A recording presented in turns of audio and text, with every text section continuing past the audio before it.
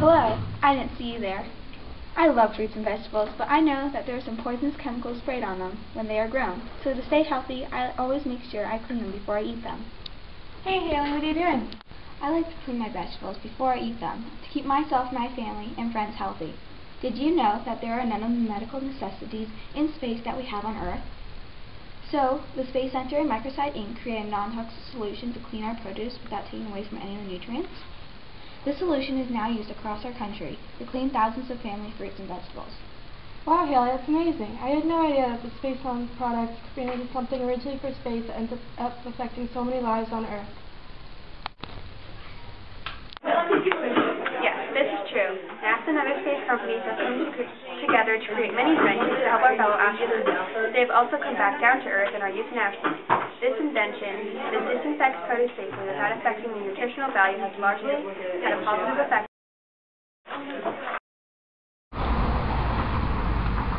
Did you know these companies perfected a food-grade solution and commercialized it as an environmentally friendly sanitizer?